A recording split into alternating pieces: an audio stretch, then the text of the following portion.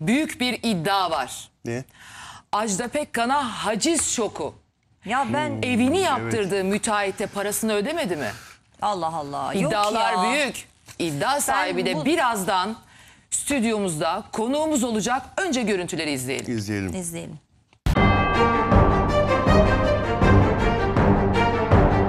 Büyük iddia. Ajda Pekkan evinin tadilatını yapan müteahhite parasını ödemedi. Ajda Pekkan'a icra şoku. Kendisine icra gönderdik. Ekibimize ulaşan müteahhit Emre Düzel'den Ajda Pekkan'la ilgili çarpıcı iddialar. Paramı vermedi. Ama Ayşe Hanım benim paramı ödemedi. Beni tehdit ettiler. Avukat tarafından arandım. Avukatı da beni e, telefonla tehdit etti. Beyaz Magazin yılın haber bombasını patlatıyor. Ajda Pekkan Türkiye'nin süperstarı. Hiç aklımda çıkmıyorsun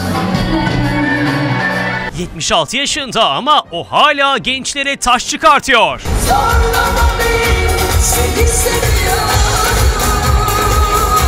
Konserleri tıka basa doluyor. Sahnesine gidenler mest oluyor.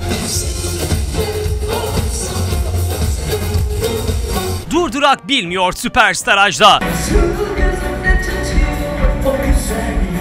Ajda Pekkan yoğun konser maratonundan arta kalan zamanlarda ise soluğu Bodrum'daki ünlü bir sitede bulunan villasında alıyor. Evet gelelim büyük iddiaya. Pekkan villasını yenileme projesini müteahhit Emre Düzel'e veriyor. Ve müteahhitin iddiasına göre Ajda Pekkan kendisine 600 bin Türk liralık ücretini ödemiyor. 600 bin liraya çıktı alacağımız. Türkiye'nin bir numaralı magazin programı Beyaz Magazin'i arayan müteahhit Emre Düzel, Ajda Pekkan'ın hakkını vermediğini iddia etti. Biz Ayşe Hanım'ın eviyle ilgili çizimler yaptık. e, bir takım çalışmalar yaptık. Bize bir kapora gönderdi. Devamında işlerini yaptığımız halde, çizimleri teslim ettiğimiz halde bizim paramızı bize göndermedi. Filmi geri saralım. Öncelikle belirtelim. Ajda Pekkan'ın kendisine attığı ses kayıtlarını yayınlamamıza izin veriyor Emre Bey. Yayınlayabilirsiniz. Benim telefonuma kendisinin gönderdiği ses kayıtları zaten.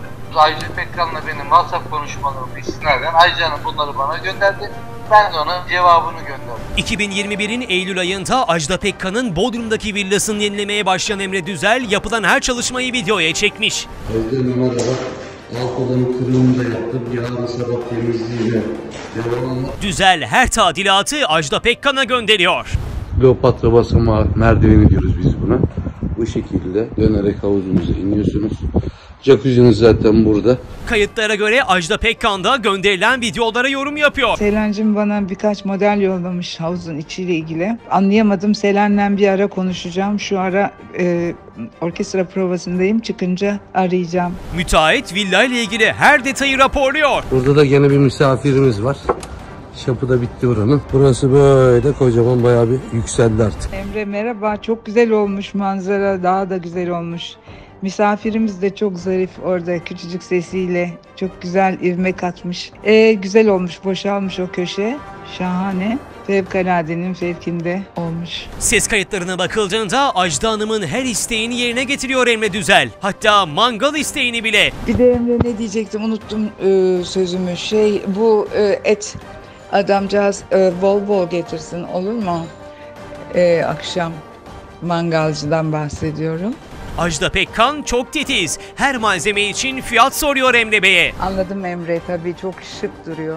Peki ne kadar farkı var bunların bizim e, taşla bunun arasında?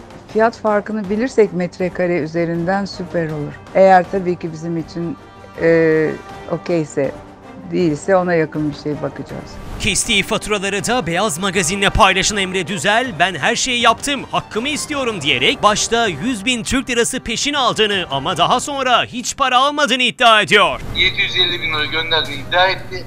Benim şirket hesabıma gelen 100 bin liranın dışında başka bir göndermiş olduğu Ajda Pekkan'ın para yok. Bizim paramızı bize göndermedi. Biz kendisine fatura kestik. Alacaklı olarak 6-7 aydan beri bekliyoruz kendisine ödememizi göndersin. Parasını alamayan müteahhit Emre Bey, Ajda Pekkan'ı icraya vermiş. Kendisine icra gönderdik. Sonra arabulucukta oturduk. Avukatı geldi. Ödeyelim dedi. Ondan sonra tekrardan itiraz ettiler bizim gönderdiğimiz parayı. Şu an icralıyız.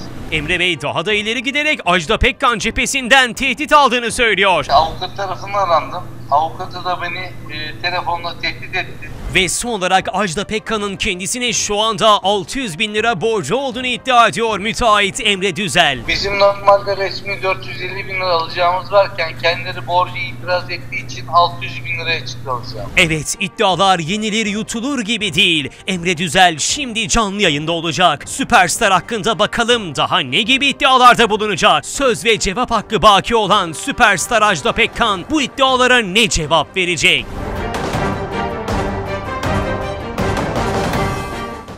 Evet. Müteahhit Emre Düzel stüdyo konuğumuz. Hoş geldiniz. Hoş bulduk. geldiniz. Merhaba. Ee, iddiasına göre Ajda Pekkan'a e, villasının yenileme projesini alıyor fakat mağdur olduğunu söylüyor. Ödemesini alamadığı gerekçesiyle de stüdyomuza konuk oluyor. Detayları da sizden dinleyelim. Doğrudur. Biz geçen sene pandemi bitiminde Ajda Hanım'la tanıştık. Bodrum'da e, yokuş başında bir evi vardı kendisinin. Bunu yenilememi rica etti benden. Ben de mimarlara çizim yaptırdım. Anlaşma yaptık kendisiyle sözlü olarak. Sonra bana bir kapora gönderdi. Bu kaporanın ardından ben işe başladım.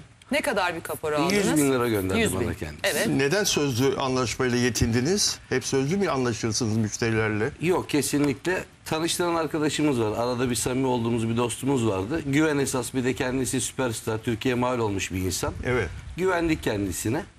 O şekilde başladık. Sonra ben bir sözleşme yapalım isteğinde bulundum. Avukatıyla beraber bana bir sözleşme gönderdiler Bodrum'a. Ben sözleşmeyi imzaladım. Kendilerine geri gönderdim. Onlar sözleşmeyi imzalamadılar. Devamında iş ilerlerken sözleşme kayıp dediler. Ben de bunun üstüne dedim ki hani sözleşmemizi bulalım. Bir şekilde orada bir ıslak imzamız var. Yarın mağduriyet yaşanmasın. Kendileri o arada dediler ki biz baktık bulamıyoruz derken eee, Oğuz Bey var Oğuz aramış menajeri. O girdi devreye. Dedi ki ben halledeceğim bu konuyu dedi. Kimsenin bir şey hallettiği olmadı. Biz bu arada tabii eee, size de gönderdiğim şeyler videolarda görmüşsünüzdür. Bir takım işlerini yaptık. Çizimlerini bir bedel almadan teslim ettik güvendiğimiz için. Toplam 700 bin liralık bir bütçe miydi? Yok bizim teklifimiz 1 milyon 530 bin liraydı. Anlaşmanız 1 milyon 530 bin liralık bir iş teslimi. İş teslimiydi. Evin Evet. içi ve dışı komple Siz tadilat. sadece 100 bin lira mı aldınız? Ben sadece şirket hesabıma yan 100 bin lira para var. Başka bir para yok. Peki 100 bin lira e, aldınız ve işleri yapmaya devam mı ettiniz bu süreçte? Evet devam ettik çünkü İstanbul'a geldik. Toplantılar oldu. Malzemeciler geldi. Tanıtımlar yaptık bunlarla alakalı.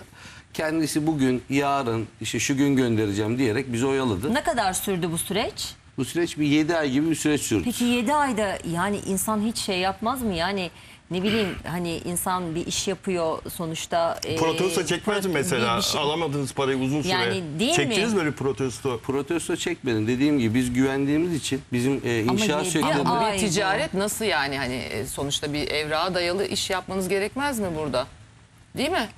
Şimdi samimi- Sözle olacak iş değil ki. Samimiyet şöyle doğmuş. Biz evinde oturduk beraber mangallar yaptık, yemekler Hani yedik. bir dostluğunuz da Samimiyete binaen. için da vardı alacağımızın kalacağını düşünmeyerekten. Ya ama ne kadar dostluk olabilir ki? Ama bir ticaret bu işle ilgili tanımışlar.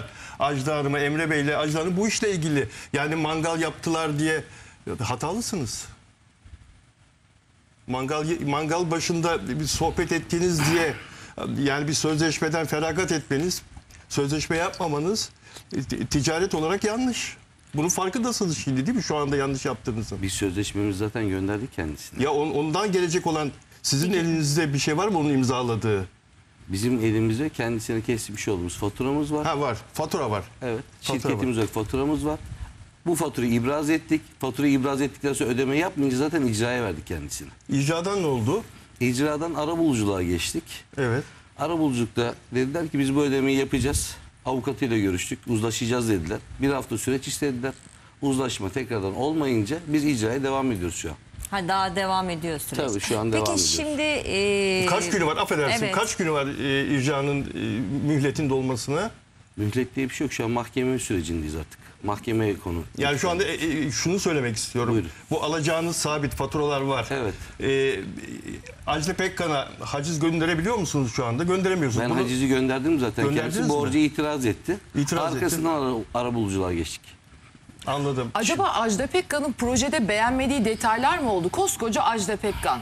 Bu zamana kadar hiç böyle bir şeyle ismi anılmamış bir isim. Neden bu parayı vermeyi reddetsin ki? Ya da neden size ödeme Yani yapmasın tabii ki? Türkiye'nin en çok kazanan e, Gerekçe kadınlarından da biri. Yani hani diyeceğiz ki parası yok, ödeyemedi, edemedi. Yani bunun bir gerekçesi olmalı. Gerekçesi şu, e, bizi tanıştıran bir ortak bir dostumuz var. Evet. E, ben Ajda Hanım işini yaparken bu dostumuza ve bir takım insanlara işte ben bu kadar bir ödeme gönderdim diye Hanım bir kelime konuşuyor. Ben de Ajda Hanım'ı aradım. Dedim ki böyle bir şey var mı? Nasıl ne kadar bir ödeme? Diyor ki 700 bin, 750 bin lira Emre'ye para gönderdim diyor. Ama öyle bir ödeme yok. Sadece 100 Benim bin şirket TL var. hesabıma gelen öyle bir para yok. Kesinlikle. Ajda Hanım'dan hesabınıza gelen. Kesinlikle yok. Ben de aradım kendisine dedim ki böyle bir şey var mı? Ben öyle bir şey demedim diye inkar etti. Peki dedim. Onun arkasına baktım ki işler ters gitmeye başladı artık. Hani bir araya da soğukluk girdi. O zaman dedim noktalayalım işi. Ben dedim alacağımı alayım. İşte Oğuz Bey menajeri bana dedi ki ne kadar bakiyen varsa gönder. Biz senin paranı ödeyelim. Beğenmedi mi Ajda Pekkan yaptığınız işi? Beğenmemiş olabilir bilmiyorum. Yani Bunu Kend- söyledi mi size? Kendisi hiçbir şey söylemedi bu konuyla ilgili. Yanındakiler menajeri falan bir şey söyledi mi? Hiç kimse bir şey söylemedi. Neden beğenmemiş olabilir? Bilemeyeceğim onu ona sormak lazım. Tadilatlar bitti mi? Şu an ne durumda? Şöyle Na tamam mı yani? Ben e, kendi üstüme düşen işlerin hepsini yaptım. Yani teslim etmem gereken bir takım şeyleri teslim ettim. Projeleri de ona üç boyutlu olarak teslim ettim. Devamında kendisi şu an inşaatını devam ettiriyor ettirmiyor konuyla ilgili bir bilgim yok. Ama şu an evinde oturuyor. Öyle söyleyeyim. Bu yaptığınız e, işleri kullanıyor yani. Kullanıyor. Orada oturuyor. E, Nereye haciz yolladınız? E, Nevi Müziğe kendi firmasına. Kendi firmasına haciz yolladınız. Evet. Kapı duvar mıydı? Ne oldu? Yani gönderdiniz. yol gönderdik. Borcu itiraz ettiler. Ya orada bir sayım yapıldı mı? Haciz memuru orada bir tespit yaptı mı? Haciz memuru gitmiyor. E, biz takip gönderiyoruz. Takip avukat. gönderdiniz. Tamam. O aşamada. Evet. Ondan sonra kendisi borca itiraz etti. Evet. Şu an mahkeme sürecine geçtik artık. Şimdi benim algılayamadığım bir şey yani e, Ajda Hanım'ı tanırız biliriz. Bugüne kadar hayatında hiç böyle bir konuyla gündeme gelmedi. Yani e, bugüne kadar hiç e, bir böyle polemikte görmedik ticari anlamda. Yani şimdi e, biz bunları sizin cephenizden dinliyoruz. Bir de aslında Ajda Hanım'ın cephesinden dinlemek Evet. gerekir. Sayın Keşke Ajda Sayın Ajda. Pekkan veya e, Oğuz Ee, Arınmış da bağlanabilir bize. oluruz. Çünkü biz burada şu an tek Evet. taraflı e, dinliyoruz Ajda olayı. Pekkan'ın- bir iddiayı biz programımızda Ee, dile evet. getiriyoruz. Yani e, acaba iddiasını. Ajda Hanım ben şu içini merak ettiğim sorular var. Burada notlarımı almışım. Acaba Evet. Ajda Hanım neyden rahatsız oldu? Ee, niçin bu şekilde davrandı? Çünkü hani ilginç bir davranış Beyefendi şekli. diyor ki 700 bin lirayı gönderdim ben e, Emre Bey'e demiş ortak arkadaşlarına Ajda Şimdi Hanım. Allah aşkına hepimizin tanıdığı bir isim Ajda Hanım. Yani sizin Evet. aklınıza hiç oturabiliyor biliyor mu? Bunun başka bir nedeni ve sebebi olması lazım altında yatan. Yani koskoca Ajda Pekkan'dan bahsediyoruz değil mi? bir konserden Haklısın alıyor ama ben bir zaten tek o Ajda ücreti. Pekkan'a iş yapmıyorum. Başka ünlülere de iş Kimlere yapıyorum. yaptınız? Kimlere Kimlere? yaptınız? Fatih Yüreğin işini yaptım. En yakın zamanda. Evet mi? Bodrum'da yokuş başındaki evini yaptım Fatih Evet. Bey'in. Ona da sorabilirsiniz. Bir problem yok. Benim ne- benimle alakalı ne istiyorsanız. Yani öyle söyleyeyim size. Başka e, ünlü sanatçılara Bülent çalıştınız Hanım'ın mı? işini yaptım. Bülent Ersoy'un. Evet. Onun da mı Bodrum'daydı Evet evi? onu da Bodrum'da. Yalıkavak'ta mı? Yok o da yokuşbaşı tarafında. Peki siz bu Yeni- samimiyetteyseniz yeni ev almış. böyle mangallar yapacak kadar sonra bu noktaya nasıl gelindi? Neden yapılsın ki böyle bir şey o Onu zaman? ben de çözemedim zaten.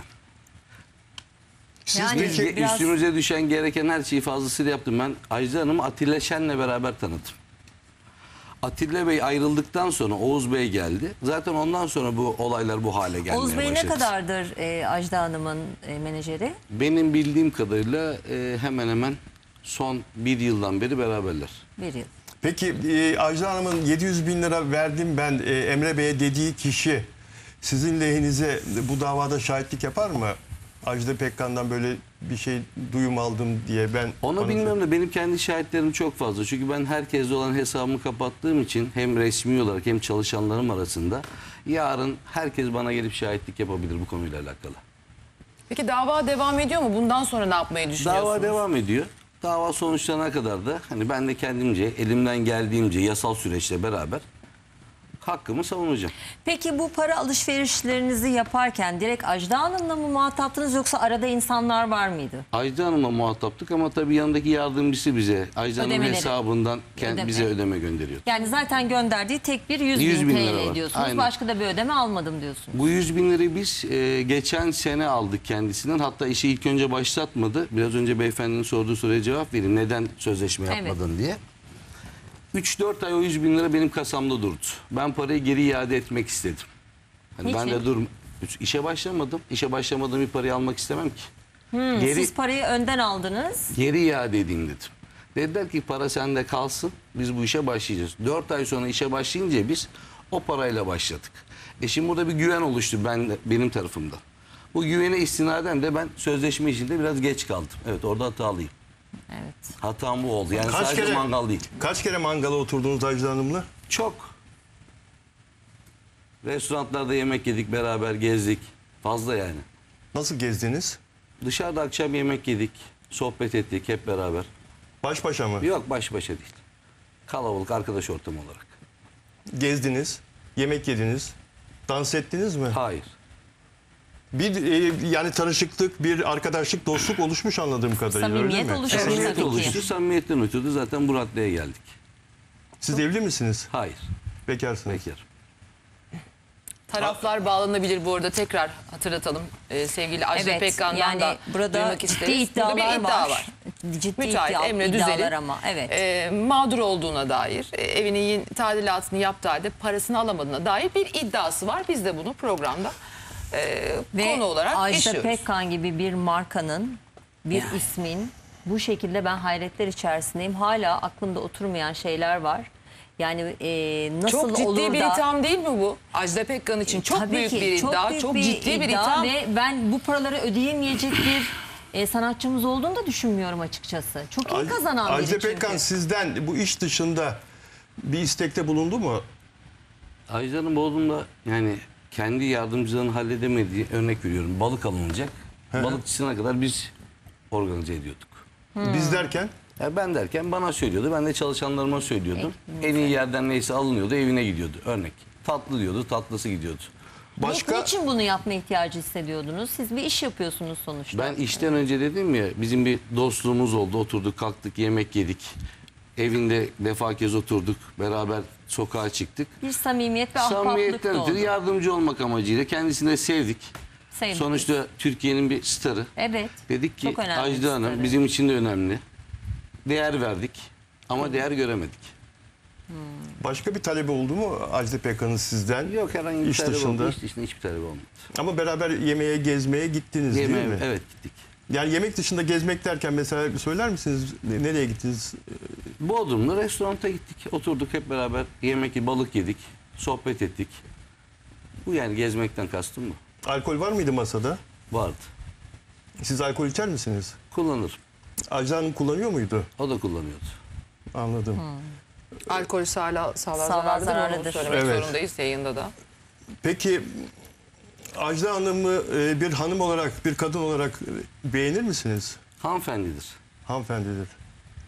Ben şeye çok hayret ederim mesela Emre Bey. 76 yaşında nasıl oluyor da bir Ajda Pekkan, bir kadın bu kadar güzel olabiliyor, bu kadar gösterişli olabiliyor ve bu kadar işveli olabiliyor. Siz bu konuda ne düşünüyorsunuz? Ben bu konuda bir şey düşünmüyorum. Kendisi bizim için süperstar. Türkiye mal olmuş bir insan. Ben sadece işini yaptım. İş kısmıyla ilgileniyorum. Onun dışındaki şeyle ilgilenmiyorum. Anladım.